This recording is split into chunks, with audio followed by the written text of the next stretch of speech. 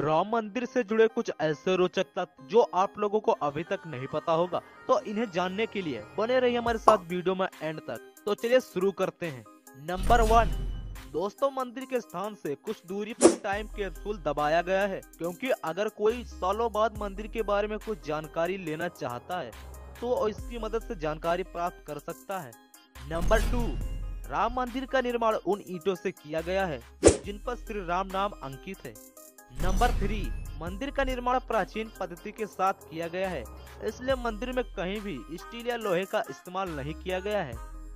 Number four, Karnataka में स्थित अंजनी नामक पहाड़ी, जिसको भगवान हनुमान जी का जन्म स्थान माना जाता है, वहाँ से पत्थरों को लाकर मंदिर के निर्माण में सहयोग किया गया है।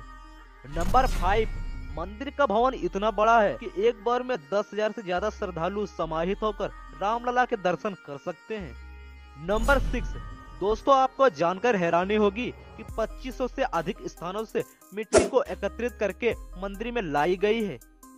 नंबर सेवन, मंदिर निर्माण में अलग अलग नदियों तथा कुछ स्वच्छ कुंडों का पानी इस्तेमाल किया गया है। नंबर एट, भारत के लोगों ने मंदिर निर्माण में अपना सहयोग किया है और पूरे भारत में सोने और चांदी की ईंटें मंदिर निर्माण के लिए लाई गई थी।